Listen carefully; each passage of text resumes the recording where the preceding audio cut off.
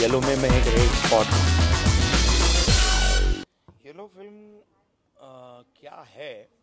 ये तो फ़िल्म देखने के बाद ही येलो फ़िल्म येलो कलर क्या है?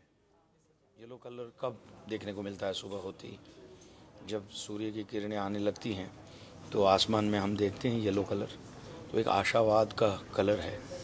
तो ये संपूर्णतः आशावादी फ़िल्म है और बहुत मतलब जो सूरज की किरणें सुबह सुबह आती हैं और अच्छे हमारे में जो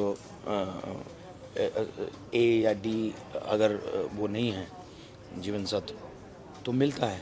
तो वैसे ही ये फ़िल्म देखने के बाद ए और डी और सारी का, काफ़ी जीवन सत्व मिलेंगे देखने के लिए। तो बहुत बढ़िया फ़िल्म है अकॉर्डिंग टू मैंने काम किया है Rishikesh Joshi is playing Gauri's father mama. I am playing Gauri's father yellow में मैं एक रेड स्पॉट हूँ, जो पूरी येलो में एक रेड स्पॉट अगर कोई है तो मैं हूँ। समाज का निगेटिव तत्व जो है, उसको मैं रिप्रेजेंट कर रहा हूँ।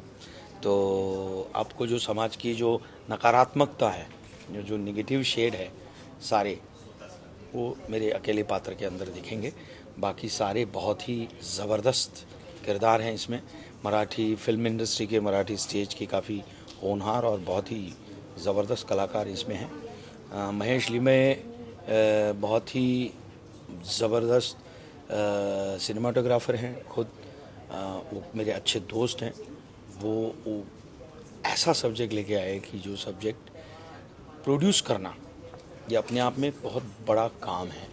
क्योंकि ऐसा सब्जेक्ट लेके आना लोगों के सामने ये बड़ा कठिन होता है। क्योंकि चालू गाड़ी में तो कोई भी चढ़ सकता है बट ऐसी ऐसा एक तेजस्वी सब्जेक्ट लेके आए हैं और लोगों के सामने रखे और लोग उसको सराहें क्योंकि हिंदी फ़िल्म इंडस्ट्री के काफ़ी लोगों ने इसकी रिलीज़ के पहले सारे कलाकारों ने बहुत ही महान कलाकारों ने सबने लगभग देख के ट्वीट किया है और उन, उन, उन उनके दिल को और उनके दिमाग को ये बात इतनी छू गई है कि आ, उसका मैं शब्दों में वर्णन नहीं कर सकता हूँ।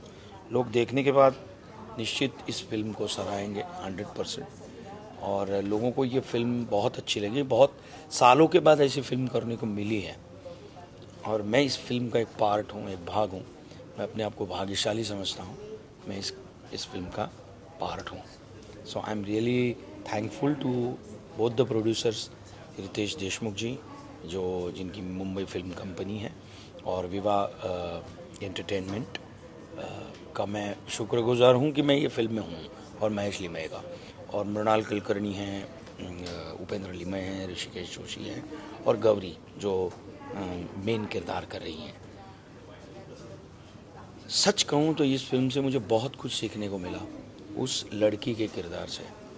कि हम लोग इतने, सब कुछ हैं हमारे पास, ईश्वर ने दिया हुआ। और सुबह उठते भगवान के पास हाथ जोड़ के बोलते हैं, मेरे पास ये नहीं है, मेरे पास वो नहीं है। और जिनको थोड़ा सा कुछ कमी दे के भेजा है। हमारे पॉइंट ऑफ़ व्यू से। उनके पॉइंट ऑफ़ व्यू से वो पूर्ण है।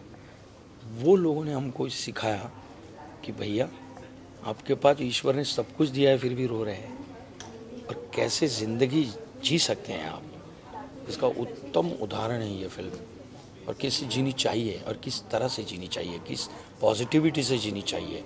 एंड हर आदमी कुछ ना कुछ कर सकता है। इतनी ज़बरदस्त, इतना ज़बरदस्त संदेश है इस फ़िल्म में।